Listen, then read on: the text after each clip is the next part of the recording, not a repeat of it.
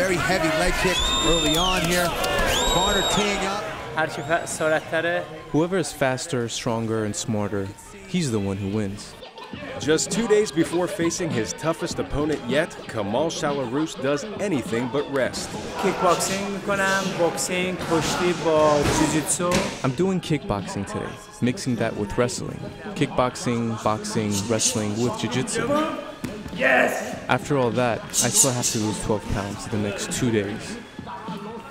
It's just starting. My pulse is racing, but I'm very ready. I'm ready for this fight, mentally and physically. Trainer Elton Wells dictates the pace of training camp. Normally we train longer. Um, thing is, like right now, we're just a couple of days from weigh-ins. Now, you know, we're, we're gradually bringing his weight down, and while we're bringing his weight down, you know, his energy gets lower. The Prince of Persia, Kamal Shalorus. Professional fighters must make weight the day before a fight or face financial penalty or even disqualification. 155 even for Kamal Shalorus.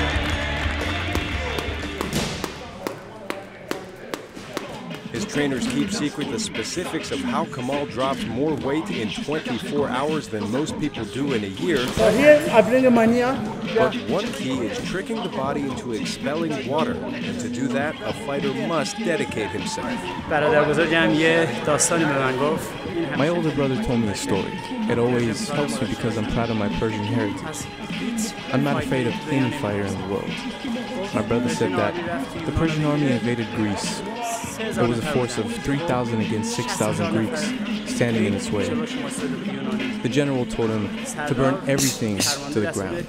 He told them that they have one destiny, that you must kill them all. I also have one destiny. To be the best in the world, and nothing, no one can stop me. It's that type of ferocity that makes many people see MMA in a negative light. Indeed, it can be brutal, but Kamal says the sports critics miss much of what goes into it. They don't see behind the scenes. They only see violence and aggression. But no, in order to do this, I spend about five to six months working hard. I am disciplined to train, eat well, sleep, and wake up early too. These are good things for living life. Exercise is always good. It keeps youth out of trouble, keeps them from smoking. There's nothing bad about sports. All of this, however, comes with a cost to the body.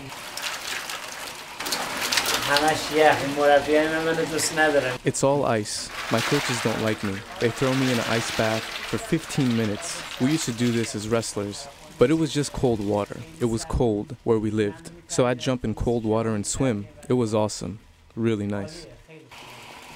An ice bath in his hotel room seems a long way from the small village in Iran where he grew up.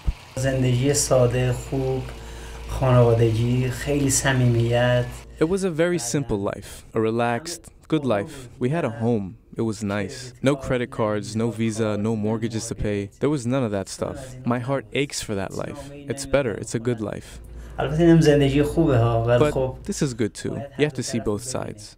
His months of training carried him to fight night on June 20th when Kamal fought former world lightweight champion Jamie Varner in Edmonton, Canada.